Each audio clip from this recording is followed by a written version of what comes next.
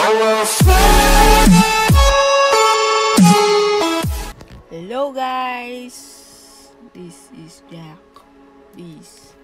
Ayan mga guys. Mag magko-continue. Andito ko sa aking vlog. No, not vlog. Nandito ako sa aking ano sa aming istakan. Sabihin ko sa inyo yung nakaraan na ano naputol kasi pinikwento ko. So, ngayon, dito ako, pinipicture ako yung mga mga ano, mga stock ko. Kahit mura lang lang binebenta ko. Basta ma-dispose lang siya. Makakuha tayo ng new item.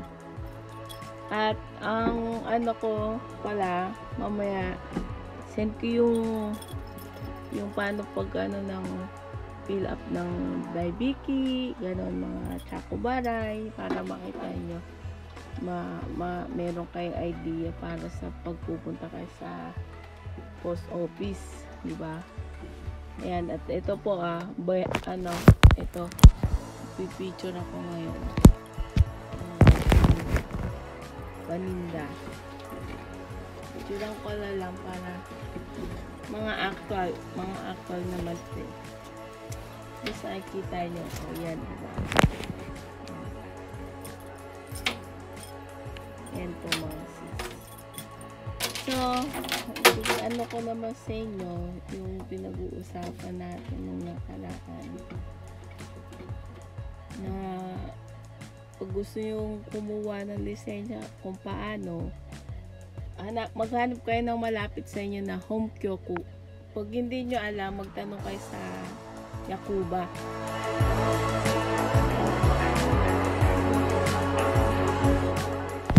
Magtanong kayo sa Yakuba. Sabihin nyo, i-ano nyo na sa inyong home kyoku. Yun ang, ang home kyoku means nun yung kung saan yung mga mga registered ng mga lupa or kung anong, anong nung kunya bumili ng lupa sa Japan or yung nag magtataka magtatayo kayo ng ano ng business o mise mga ganyan. Hanapin nyo lang home kyoku yung malapit sa inyo. Doon nyo may tatanong yung kunyari nagbebenta po ako ng damit. Ah, ano po bang kailangan ang pipirmahan o application? Tuturuan na kayo nun pag, pag, pag wala, hindi kayo marunong maghapon, magtanong kayo sa mga kilala nyo kung pwede kayo samahan sa marunong maghapon, mag, magsulat ng kanji, ganun. Kasi ako nagpasama din ako. Minsan, unang-una ako talaga mismo pumunta doon, nagtanong. Yun ang experience ko. Punta kayo sa Home Kyoku, pag ano, sarili nyo, self-employed o wala po, ayaw nyo po magtayo ng negosyo, maganda, coding, coding ang tawag, kayo muna yung buy and sell muna ang kunin yung ano, papers, bibigyan naman kayo ng ano ano,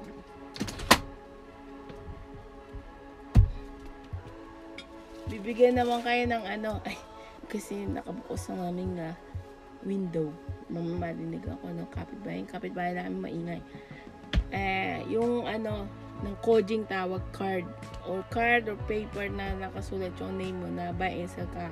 Kaya yung tinuro ko nung nakaraan na itago nyo yung mga resibo ng mga pinagbentahan nyo, ah, yung mga gastos nyo, I mean, hindi yung binenta, yung nagastos nyo sa pagbibenta.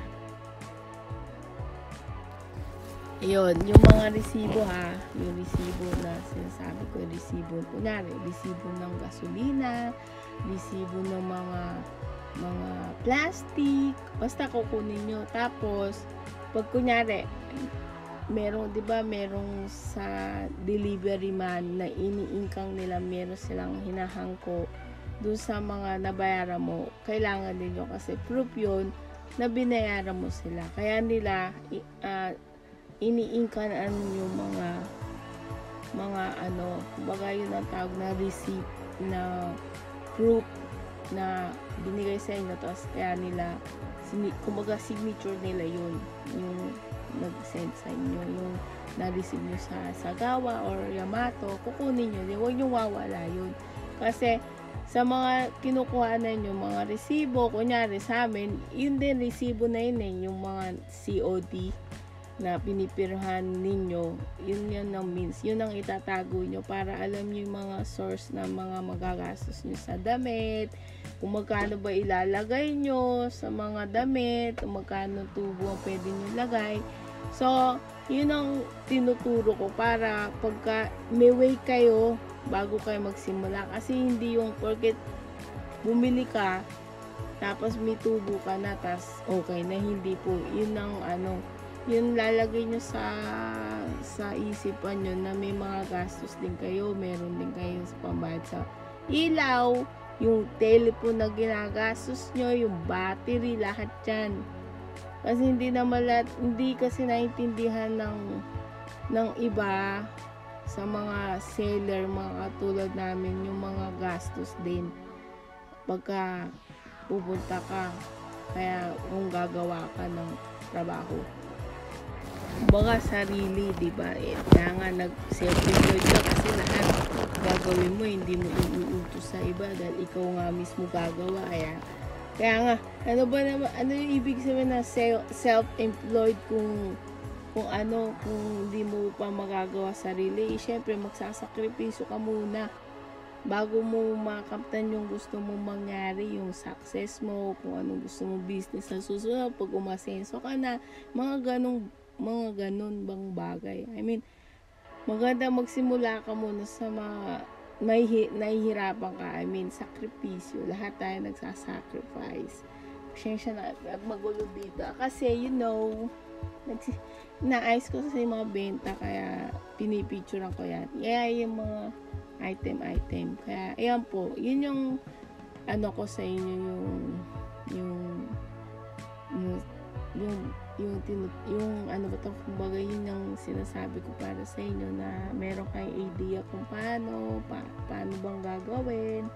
Kaya kaya pagka may time kayo i magkumuha kayo ng paper or book lagay niyo yung capital saka profit saka yung total tapos makikita niyo yung total nyo, yung mamatch nyo yun, yung computation nyo, kung magkano yung lagi yung nagagastos. Kaya nga sinasabi ko, huwag nyo wawalain yung mga nagastos nyo sa mga puhunan na ginamit nyo.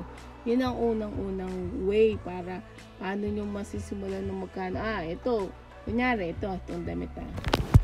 Yan, ito. Sabihin na natin ito, binili kong 300. Ah, 300 kailangan naman lagay ko dyan, ano, 450. O, sige, 450, di ba? So, ngayon, 300 mo binili. 150. Minus mo ngayon doon, nasa yung tubo mo, Juyen. Ganon. Di ba, mahihirapan ka. Kaya nga, yung sa iba na iniisip na mahal naman, no lahat doon, nandoon lahat ng paghihirap na nag, nagawa mo, nandito rin. Kung baga lahat, naka, naka-detect na sa kanya eh. 450 nga, sa, uh, tapos mamamahalan pa. O, diba? Meron talagang gano'n, meron nakakaintindi sa walang hindi nakakaintindi.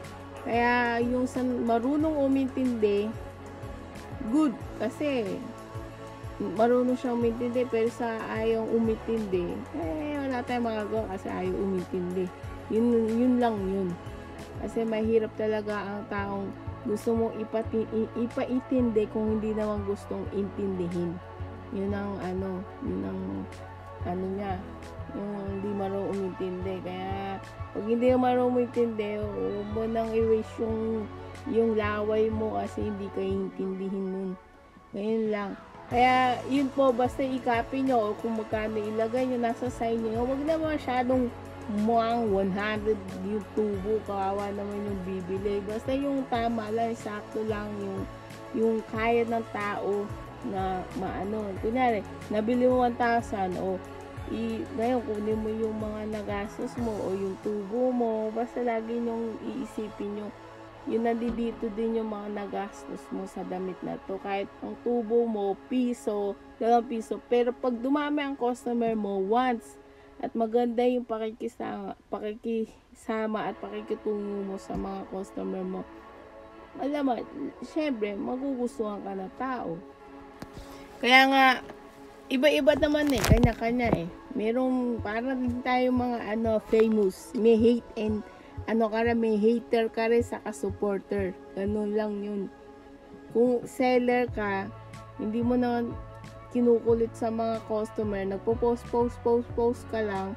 Tapos, syempre, yung, yung mga customer mo o yung mga iba na-attract sa damit mo, bumilit at maganda yung ano mo, syempre, re-recommend ka nila, re-recommend ka nila.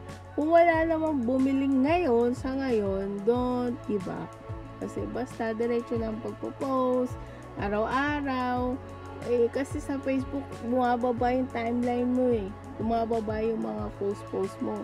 Kung naging, sa, pag may nagsabi naman sa naman, puro damit na lady, wag, wag kang tumingin, eh, di ba? Yun lang eh. Yun lang yun. Nasa ano yun, nagsumisikap ka, nag, mag, nagpapasikap ka para sa pamilya mo, para magawa mo yung dapat mong gawin, yung gusto mong gawin. Kasi, nasa sa atin din yung pag gusto mo yung gusto mong gawin, gagawin mo. Pag ayaw mo, sa pilitan ka, hindi mo magagawa yung gusto mong gawin kasi kumbaga, pinoforce ka lang magbenta dahil sa ganun. Pero, maganda, mahalin mo yung trabaho mo. Mahalin mo yung, yung gusto mong gawin. Hindi yung kapilitan ka na ayaw mo pero ayaw mo sa puso mo. Yung, yung gusto mo gawin pero ayaw mo sa puso mo, hindi mag, ano, hindi magmamatch. Kumbaga sa ano, tubig at langis. Ganon. Ganon ang ano effect. Parang gulo ng place ko. Parang nasa ano ako, ukay-ukay, you know. Pero mukha nga akong ukay-ukay dito, uka-ukay na You know, yun, yun, na, yun na po yung ina-explain ko para para mayroon ka ideya, para masabi, masabi. Nag-aayos ako ng paninda. So, kailangan maganda yan, i-organize natin para pagka, ano, ay, isa sobra, sobrang busy ng lola nyo. Eh, hindi ko na naasikaso yung paninda ko, kaya, syempre, sayang dito. Tulong din yan eh. Kahit piso yan eh.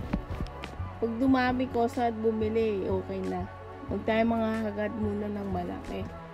I-appreciate natin piso, sampung uh, juyen. Kasi yung parang pinawisan mo yan, na isang tulo, may juyen ka na, oh isang ka pa makakita ng umuulan ng pera, wala. Kahit tae nga eh, meron pang kasamang mga green-green grass of all yan.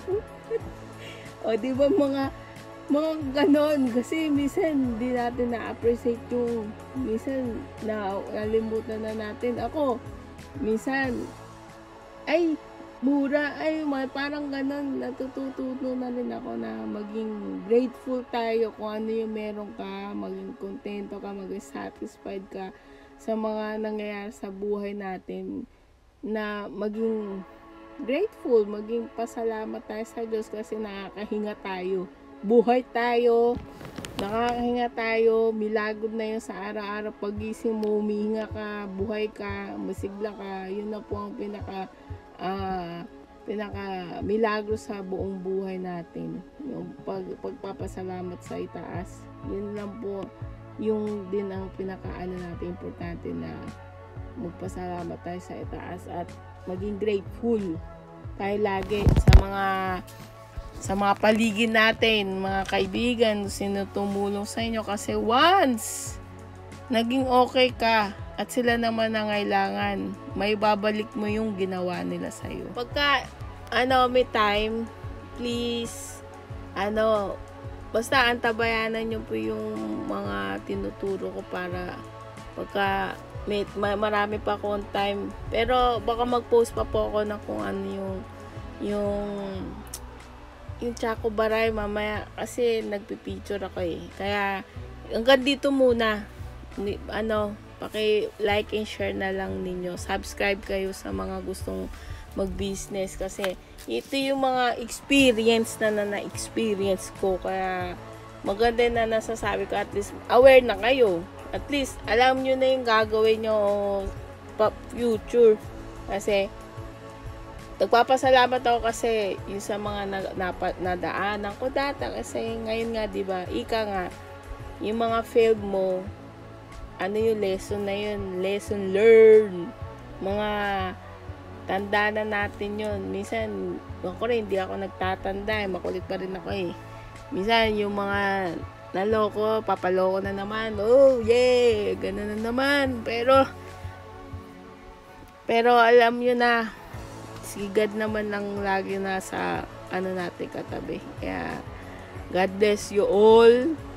Kaya, kung sino pong nagustuhan ng video ko, like and share na lang po sa subscribe para po sa mga gustong makalam pa ng ibang dapat gawin. Kaya, thank you guys. Peace!